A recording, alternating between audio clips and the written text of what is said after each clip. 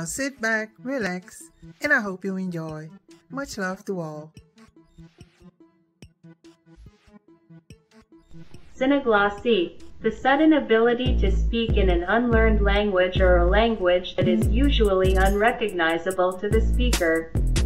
It is not to be confused with glossolalia or speaking in tongues.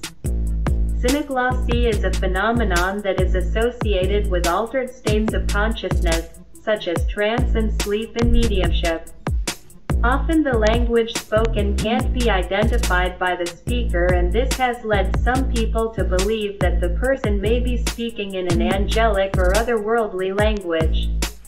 The term, xenoglossy, was coined in the late 19th century by French physiologist Charles Richet, from the Greek words xeno, strange, and glossia, tongue.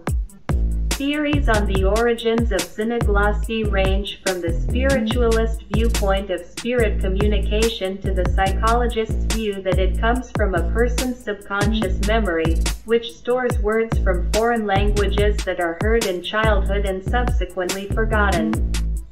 Skeptics argue that the most likely explanation is fraud by the medium during seance communications.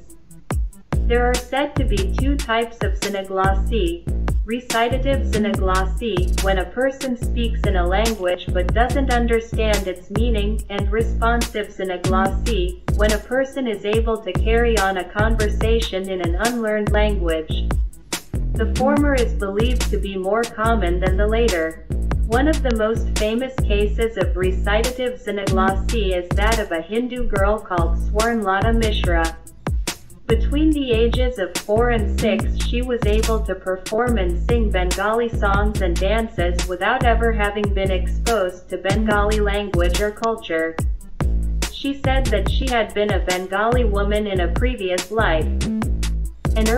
Example of responsive xenoglossy was reported in 1862 by a mesmerist called Prince Gallitzin, who allegedly mesmerized an uneducated German woman who could not speak French.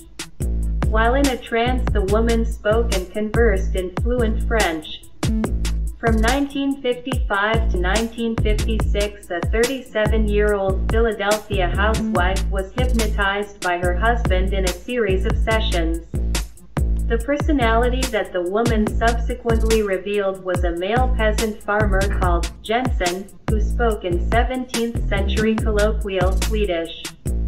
The woman claimed to have no knowledge of this language, and under hypnosis no subconscious knowledge was discovered.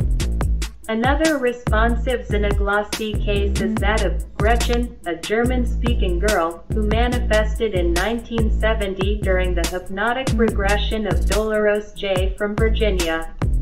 Gretchen understood simple English but communicated in imperfect German. She said she was the daughter of a German major, and had lived in the later half of the 19th century, dying at the age of 16. Xenography is the term used to refer to the writing of unlearned languages. As with xenoglossy, some believe it to be a paranormal phenomenon while others believe it to be an ability that was learned earlier in life and forgotten. The significance of cases involving xenoglossy is that, if they are authentic, the super ESP hypothesis would be hard-pressed to explain them. Is it really possible for a medium to acquire by the sole means of ESP the vocabulary and pronunciation of a foreign language? Parapsychologists simply don't know, but if ESP can stretch to this extent then the informational limits of ESP must be virtually boundless. Thank you for watching. I hope to see you again soon. Till the next time, much love.